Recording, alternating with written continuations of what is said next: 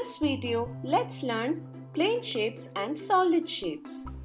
A plane shape is flat, having only two dimensions, length and breadth.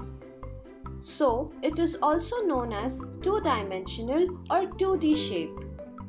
Let's learn about few 2D shapes. Here is a chessboard. It is a square-shaped object. A square has four sides all its sides are equal. A square also has four vertices. Vertices is the plural of the word vertex. A vertex is a point where two sides meet. What can you see? It's a monitor. It is rectangle in shape. A rectangle has four sides. Its opposite sides are equal. It has four vertices. You can see a slice of pizza. It is triangle in shape. A triangle has three sides.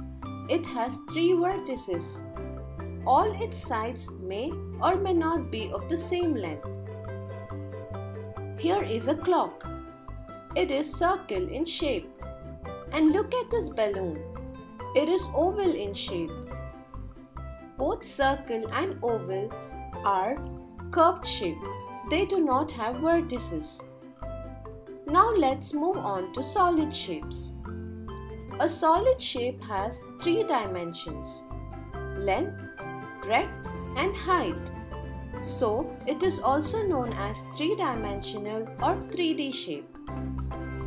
A solid shape has faces, edges, and vertices. Let's learn about some 3D shapes. A cube has 6 faces, 12 edges and 8 vertices. In a cube, all the faces are square in shape. For example, a cube-shaped dice. Next is cuboid. It has 6 faces, 12 edges and 8 vertices. In a cuboid, all the faces are rectangle in shape. For example, a cuboid-shaped fish tank and a bus. We also have a cylinder shape. A cylinder has two flat circular surfaces and one curved surface. Example, cylinder-shaped drums and a coffee mug. A sphere has one curved face. It has no edge and vertex. For example, a sphere-shaped ball and a globe.